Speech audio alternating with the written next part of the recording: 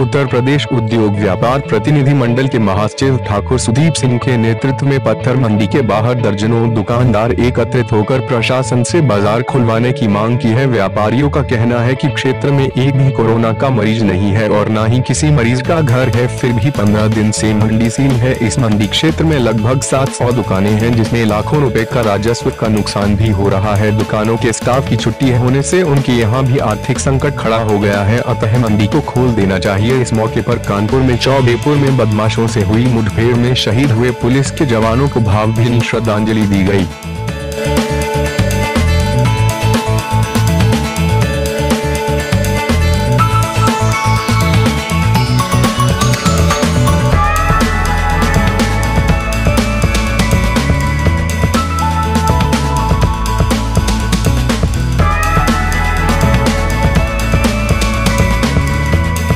सब्ज़ी मंडी के लोकल पर क्या मामला है?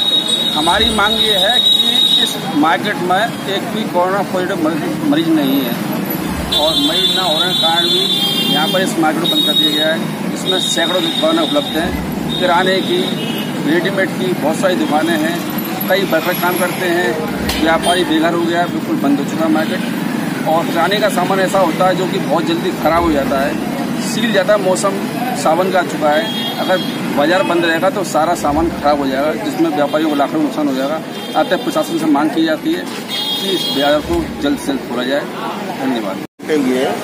इनकी सब व्यापारी की सबकी मांग है कि यहाँ पर कोई कोरोना पेशेंट ना होते हुए भी यहाँ सात से दुकानें बंद हैं और सात से दुकानों के चार हज़ार वर्कर जो काम करते हैं, वो बेघर हो गए क्योंकि सब दुकानदारों ने कह दिया, हम उनको पैसे नहीं देंगे।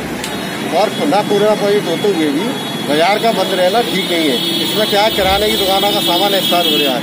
इससे व्यापारी लाखों रुपए के नुकसान में है। और इस बाज़ार बंद से व्यापारियों के, से जो राजस्व मिलता था, उससे ही सरकार का बहुत बड़ा नुकसान हो रहा है। उस राजस्व से, राजस्व का नुकसान हो रहा है और जो गरीब मजदूर है, जो दुकान पर काम करते थे, और उनको कोई व्यापारी पैसा नहीं दे रहा। इसलिए सब लोग अपने अपने घर चले गए हैं। और व्यापार मंडल, नगर उत्तर उत्तर प्रदेश उद्योग व्यापार नगर व्यापार मंडल प्रत्यक्ष व्यापार मंडल के।